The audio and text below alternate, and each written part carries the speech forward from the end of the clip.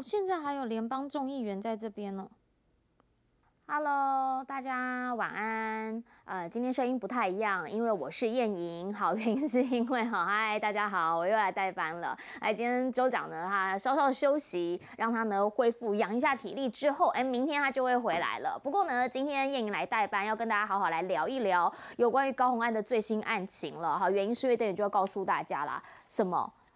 民进党的良心，王世坚出来讲的。王世坚是怎么样来形容这件事情？他说这样啦，就是小气，基本上这件事情呢是无罪的。好，重点就是呢，你不能用小气啊、吝啬啊去定他的罪。那为什么他会这样讲？我们等等要请我们今天的来宾好好帮我们来解释一下，坚哥是从哪一个角度来切入？来，今天呢会有兵哥加入我们，嗨，谢汉兵兵哥，以及呢波基哥。嗨，黄阳明，波吉哥是，所以这一次其实这件事情因为持续在办，为什么我们今天要特别来讨论这个？当然就是因为《镜周刊》在今天发了好几份报告，然后这个报道里头，我觉得波吉哥他很像是那个有摄影机在旁边录，他连那个就是吃什么便当，然后炖得，然后问说我吃素什么之类的，他都讲的超详细的。这个这个是记者会怎么样知道？没有跑司法记者要有这个能力啊！你是说那个躲在桌子底下的能力吗？还是不是啊？要有要有县民啊！哦，所以就是一定会有人出来放这些消息。检方必须要靠媒体才能把一个案子营造出有罪的气势，才会影响审那个包括起诉跟后续的审判，这是对检方有利的。那为什么每次都这么刚好都是这一家？哎，好用啊！比较。能够跟着他的，就是他会有有所谓的影响力嘛，嗯，然后还有一个就是，当然这个跟记记者的功夫有关系啦，那个要那个要彼此要有信任关系的，嗯哼哼哼，就是你要你要能够成为一个讯息的这个散布者，你要成为就是说那个消息来源要我非常信任你，就是我可以跟你讲这些事情，然后我会确信说你不会把我抖出来，是这个而且因为司法机关一定都会想强调。这不是我讲的，啊，对啊，剪掉不公开，我怎么能讲？一定的啊，对啊，他就是说侦查不公开啊，所以我们都不会不会对外透露啊，对啊。但是会看到这些笔录的有谁嘛？嗯，他对，通常这个时候我们的寒冰哥也会有很多的内幕，是不是？不会，就是这这就很妙啊，因为我们今天在看看这个内文，他一次发太多篇了。你看这个案子就知道，从头到尾就是这一家，这检察官就发给他。从选前到选后，就一路都是这一家独家，那就很明显他们是配合的关系啊。嗯，就是这样子啊。就是继续办，然后继续配合，我跟你讲，继续办。我讲比较那个一点，我们说侦查不公开嘛。对啊。如果说他们真的有心想要维护侦查不公开这个原则的话，现在应该要去抓检察官啊，不是吗？没有，现在要立刻立一个案，针对案情被曝露的部分，针对检察官、承办检察官进行调查。你要去去调查啦。嗯。因为很明显，这个是喂给特定媒体，而且基基本上就是同一个合作关系，从选前一直到选后啊。嗯，这个要查超好查的，而且侦查不公开是针对这些所谓的检调人员才有这个责任。我们记者或者被告都没有什么侦查不公开这种问题啊，只有检察官的他们这些侦办的人员才需要遵守侦查侦查不公开，他会有泄密的问题。对，嗯，好，所以他到底还有多少工程啊？现在？很多在林志坚离开之后，就一个一个问题就一直跑出来，然后也都还没有。他文创那个，他之前是我有看到一张照片，就是跟那个新竹烟波他们一起。对对对对，就是烟波那个文创馆，就是那个是烟波那个嘛。嗯嗯嗯嗯。但那个我觉得只要他那个他那个总地楼地板面积最后修就是改装完成是八千九百将近九千平，花十亿。大呢？啊，那个七千平的花花十二亿。可是因为它平台很多。对啊。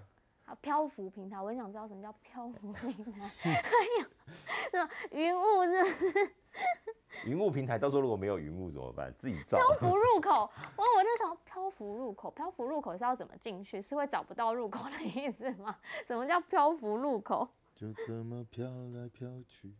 这是什么歌？这是罗大佑的歌吗？这是罗大佑的歌，你那时候可能还没生。我我知道这是哪一首。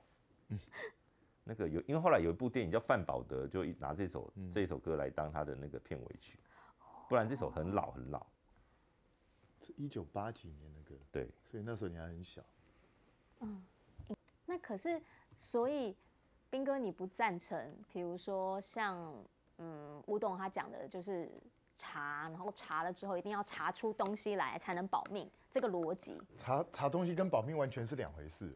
因为他现在就是一直，我看到他在很多节目上他都在绿营绿营有两派的说法啦，一派是为了要保护林志坚，一定把高鸿安办到底。嗯，嘿，嗯，就是唯有把高鸿安弄倒，林志坚才能保护住。那我说这个逻辑如果颠倒过来，高鸿安就我也要办你办到底，我才能保护自己，就是两边就恐怖平衡嘛。就是因为今天又有一个那个什么前新主，就是啊。县市变更之前的那个第最后一任的新竹市长，他要出来讲说，他那个时候面对什么国民党的威权啊，他就是觉得是同样的一件事情，都是政治性办案啊。对，因为我老实讲，高安这个案子，其实现在虽然吵得轰轰烈烈，我个人认为这不是什么了不起的大案子。我讲实在话，因为他虽然已经经费从六十万膨胀到两百万，可是我觉得他的灰色地带本身是很多的。嗯，所以。我我觉得这个这个案子很吃法官的自由行政，所以所以之后好贵哦，而且每一次过年就会涨，然后就越来越涨越多。你知道很好笑，就是全家不是要涨吗？你就跑去问随便一本，说当然你要你要不要跟着涨？没有，你知道随便一本讲说哦，目前我们没有这样的计划。是啊是啊，你知道为什么吗？为什么？因为。随便日本早就开始在卖十八块那个，没有，它有市场区隔的。对，OK。是说有什么有个鼎王，我是没吃过啊，说有个鼎王茶鼎王麻麻辣蛋，对，是要二十块钱，好贵哦，天哪！好，谢谢。好。那个那个车哈车的问题是四五一，你知道一台车。基本两千 CC 的车，光进到台湾，嗯，税就是六十趴，嗯，嗯，就是加货物税，然后什么呃那个关税，然后还有一些杂七杂八，就你的税金就占了这台车的百分之六十。我一直觉得在台湾买车这件事情，就是新车，除非，然后如果你是三百万以上的车，还要再加十趴，哦，奢侈税，奢侈税。哎，其实奢侈税的标准应该要调了啦。三百万的车在台湾应该不算奢侈的车了。三台台湾家车真的太贵了。你看特特斯拉的修旅车型那个 Model X，嗯，定价就是三百八十八万啦。贵哦。可是他进来台湾，你还要加收奢侈税，所以就会。所以这个你的三八八是还还没有在海外的价钱。对对对对对对。哦，海外定价，它原本美国定价就是三八八，没有，就也有可能它原本三百五，然后进来变成三三三八八，就是因为还要再加奢侈税，就这样的概念，就是就是三百万以上，我们的规定，我们的法规就规定三百万以上的小客车，九人座以下，只要你是定价三百万以上的，就是你的那个价格，那就要加收十趴。我觉得现在台湾物价真的是有点。还好啦，其实台湾真的相对相对全球还好，不是相对全球还好，但相对薪水不好。只是像牛奶啊，像那个我们刚刚讲蛋啊这些问题，就是民生物价问题。关键是我们的原物料仰赖进口。嗯。那像蛋就是因为我们的饲料都要靠进口，那牛奶也是因为我们本地产。嗯。鲜乳哦，就是我鲜乳一定就是本地。嗯。我们不太可能去从国外进鲜乳。对。现在都是用还原乳。是，还因为生乳的那个、那个、那个，就是要要检验啊或什么的，所以那个很麻烦。那所以生乳我们国内的饲养成本就是高，嗯，然后台湾的那个乳牛饲养完就是进牛肉汤，就是台南台南为什么有那么多牛肉汤？因为那边有牧场，对对，然后就是他们在先生产乳牛，然后再变成。就是它老了，乳产乳量不够了，那就把它变卖，变变肉牛。对对对对对，对，乳牛是可以吃的，对。但是是真的很贵，我觉得一罐牛奶就是会一直，基本上会放出什么保住邱丽丽，民进党跟国民党合作，这个摆明就是，你觉得是反串就对了，就是要让他们破局，就是要破局啊。我看到很多人追去问那个副议长，副议长讲：“我不要供啦，我不要供啦，你去问东团啦，我不要供啦。”没有那个压力就会压在他身上，他就不敢乱动。因为他那一票有可能最后是他那一票是关键啊就是每一个人都有机会，嗯。啊就现在就是看说郑国会那六席敢不敢往郭信良那边投啊？往郭信良那边投一定被开除，民嗯民进党昨天不是已经宣布了吗？这次谁跑票谁最就开除啊最终就开除。就开除啊对啊。对，因为你已经就是过半，然后还选输人家，那不无法接受吧？任何一个上一届就是上一次对，可是问题是会无法接受啊。可是问题是，而且我再那就是告诉你分裂啊，其实上嗯上一届也是这样。我上上一届也是吗？你以为李全教为什么被关？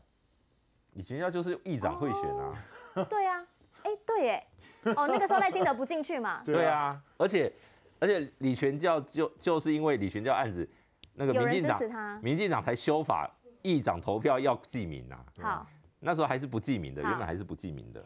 而且现在大家讲说，他之前不起诉就可以帮他现在来解套，是这样吗？我这两件事情应该是因为不是有新市政才会再起诉吗？是啊，嗯嗯这这应该是不是这么的直接相我？觉得没有这么直接啦。对不对？不只是郭在清被起诉过，郭信良也被起诉过。啊 他们全部都一样。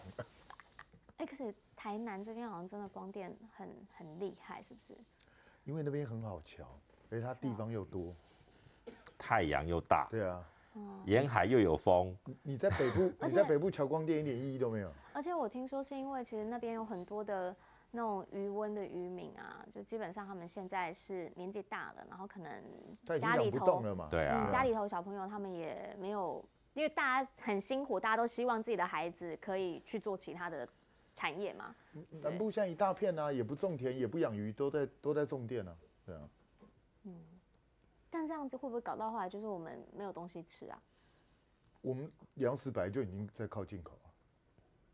我们的对粮食自给率很低啊，太低了。太低了。